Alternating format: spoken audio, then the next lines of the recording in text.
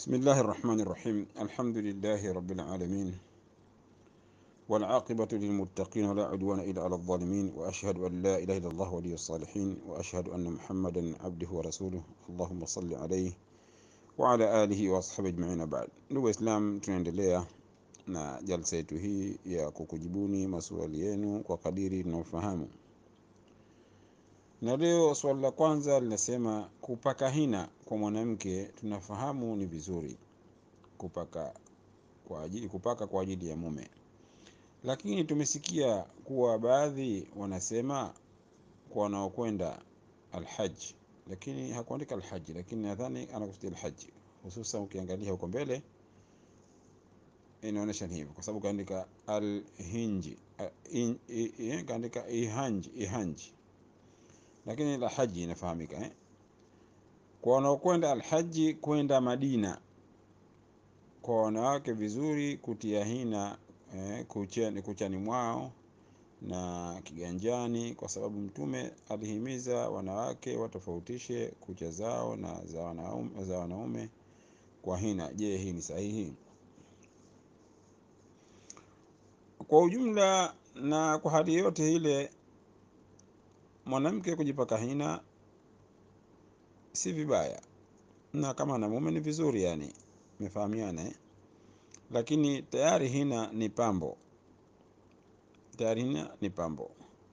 Kwa hivyo ikiwa viganja vyake kavitia hina, kwanza haruhusiwi kutazama mwanamume ajnabi ambaye kwamba anaweza kumuoa. Yani tumefahamiana eh? Mwanamume ajnabi anaruhusiwa kutazama viganja, lakini au uso kuona, si kushuhudia kwa sababu anatazama, lakini ndo akiona si jambo lilokatazwa, lakini visiwe vimepambwa. Baada ya kupambwa hairuhusiki tena, jambo la kwanza.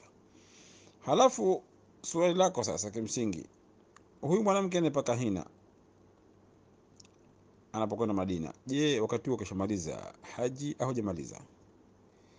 Maana yake ikiwa hajamaliza haji, basi itakuwa hilo halikubaliki, kwa sababu mwenye kuhirimia, mwanamke akihirimia, ihramu yake inakuwa iko katika uso na katika viganja, yaani haruhusiwi kufunika uso wala haruhusiki kuweka viganja, kufunika viganja, ndio ihramu mwanamke. Sasa viganja hivi kwa vimepambwa na yeye yuko katika ihramu, anapita huku wanawake wanaume wanamuona mapambo yake, itakuwa ni mushkila.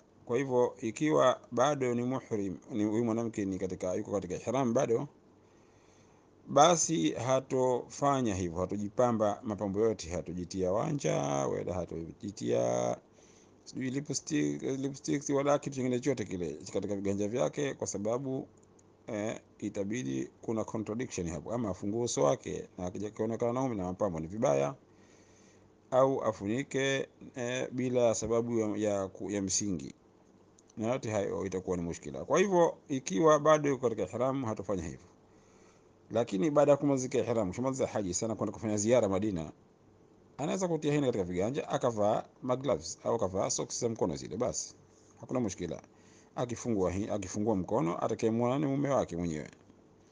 Kwa hivyo ni hivyo ndivyo ninavyofahamu mimi, wallahu tabaraka wataala alamu wa ahkam.